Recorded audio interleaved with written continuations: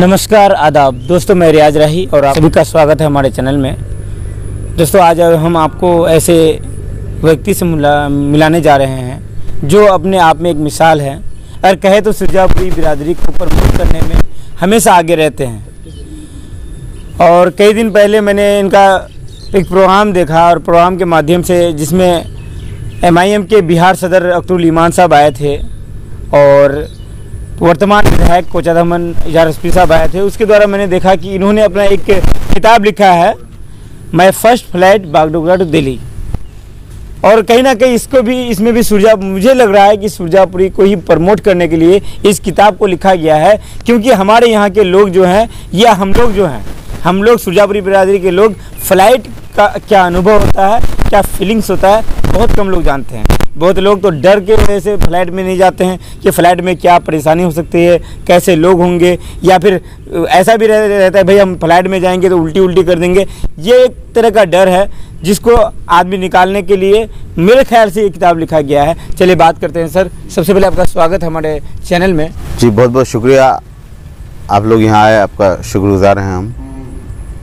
ये किताब फ्राइडे के दिन बिहार के एम के सदर अख्तर साहब और इजहार रस्फी साहब के द्वारा इसका विमोचन हुआ था।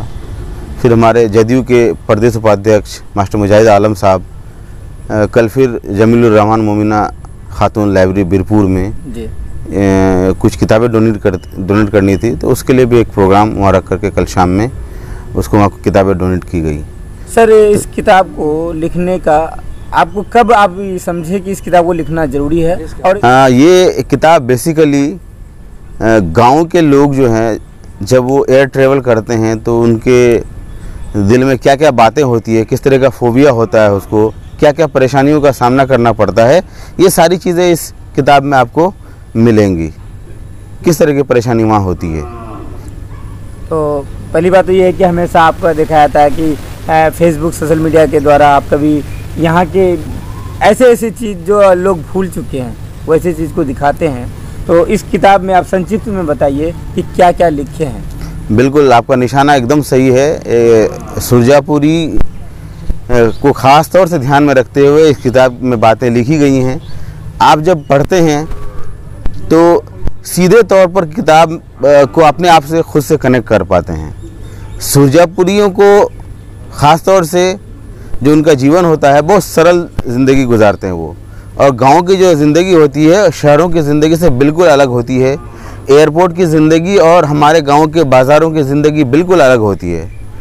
तो जब वो गाँव के मार्केट से निकल के एयरपोर्ट पहुँचते हैं एयरपोर्ट के लॉन्च में जाते हैं वहाँ की दुकानों में जाते हैं वहाँ ट्रैवल करते हैं तो, तो उसको कम्प्लीटली चेंज इन्वायरमेंट मिलता है। तो वहाँ किस तरीके से एडजस्ट करते हैं अपने आप को वो? किस तरह की फीलिंग्स हैं उनकी किस तरीके से फेस करके वो वहाँ तक पहुँचे पहुँचने के बाद ट्रैवल करके फिर आ, उनका आखिरी इस किताब के आखिरी हिस्से में मेट्रो का भी सफ़र ऐड किया गया है। तो उसकी छोटी सी मिसाल देता हूँ कि जब आप इंदिरा गांधी टर्मिनल टू में मेट्रो वहाँ एयरपोर्ट के सामने मेट्रो स्टेशन है। जब मेट्रो स्टेशन उतरते हैं तो वो सेल्फ सर्विस टिकट काउंटर है। तो अब टिकट काउंटर बहुत देर तक खोजते हैं। जब वहाँ टिकट काउंटर नहीं मिलता किसी से पूछा गया तो वो बताते कि वो उस मशीन के पास जाएँ वहाँ से टिकट मिल जाएगी। तो फिर वो गाँव का आदमी झिझकता है कि भाई ये तो ये तो एटीएम मशीन की तरह लग रहा है तो यहाँ से टिकट कैसे निकलेगा? हम लोग तो गाँव में या गाँव के बाज़ारों में इससे पैसे निकालते थे। यहाँ टिकट निकालने की बात फिर वो मशीन को देखता है बहुत देर तक देखने के बाद उस कुछ कुछ भी समझ में नहीं आता है तो फिर एक जानकार आदमी से मदद लेकर के वो वहाँ से टिकट लेता है। जी। तो ये सारी जितनी चीज़ें हैं ये सीधे तौर पर गाँव की ज़िंदगी से आपको कनेक्ट करती है? सर सबसे बड़ी बात यह है कि अभी हमारे युवा लोग जो हैं जैसे कि कोई तो फॉरेन चले जाते हैं या फिर ये गाँव से बाहर कोई शहर में जाके बस जाते हैं उन लोगों के लिए आपका क्या मैसेज है? जो लोग बाहर चले आ रहे हैं अच्छी बात है बड़े फर्म्स में काम कर रहे हैं बहुत खुशी की बात है। लेकिन इंसान के दिल में ये बात होनी चाहिए कि अपनी मिट्टी से जुड़ाव हमेशा रहनी चाहिए। आप कहीं चले जाएँ अच्छा करें, तरक्की करें, खूब। हम, हमारा समाज, हर वक्त दुआएँ करते हैं आपके लिए। आज भी बहुत से एलिगेशन लगते हैं कि हमारा समाज खराब हो जाएगा बिल्कुल नहीं। समाज आज भी उतना ही प्यार करते हैं, ज़्यादा जितना पहले प्यार करते थे आपको। तो उन लोगों से गुजारिश यही है कि अपनी मिट्टी को कभी ना भूलें, अपने कल्चर को कभी ना भूलें। सुरजापुरी मिट्टी, सुरजापुरी कल्चर, गाँव, हम सब की बुनियाद है। और हम बुनियाद को छोड़ के, बुनियाद को अलग करके नहीं जी सकते हैं। कि समाज से होता है। हम लोग रेणु जी की किताबें पढ़ते हैं तो एक अलग फीलिंग आती है। शम्स जलीली साहब जावेद इकबाल साहब अकमल यजदानी साहब जब इन लोगों की किताबें पढ़ते हैं मौलाना इसराउल्ला कासमी साहब जब इनकी किताबें पढ़ते हैं तो एक अलग फीलिंग होती है कि ये जो लेखक हैं ये हमारे समाज से हैं। तो एक जब किताब में घुसते हैं आप तो अलग फीलिंग आती है।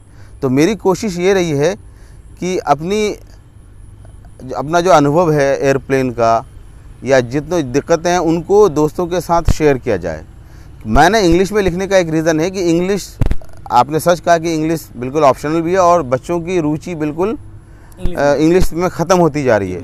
मेरी फिर से गुजारिश है आपके चैनल के माध्यम से कि इंग्लिश सरकार भले ऑप्शनल करे लेकिन आप बगैर जब तक कंपलसरी नहीं करेंगे इंग्लिश आप तरक्की की सीढ़ियाँ नहीं फान सकते तरक्की की सीढ़ियाँ नहीं चढ़ सकते। क्या इस किताब का हिंदी हिंदी अनुवाद आएगा? अ, मेरी कोशिश रहेगी कि वक्त निकाल करके कोशिश तो ये थे हमारे साथ सुजापुरी समाज को प्रमोट करने वाले एक उस्ताद भी हैं और साथ साथ नेहरू कॉलेज के उस्ताद भी हैं। उनका फैजुल हसन उर्फ़ी साहब और समाज और दुनिया इनको उर्फ़ी के नाम से पहचानती है। सर, बहुत बहुत शुक्रिया, आपने हमारे चैनल को, हमारे व्यूअर्स को टाइम दिया। और आप सभी अगर हमारे चैनल में नए हैं तो चैनल को सब्सक्राइब करें और वीडियो को ज़्यादा से ज़्यादा शेयर करें। मैं आपका दोस्त रियाज रही खुदा हाफिज़ अस्सलाम वालेकुम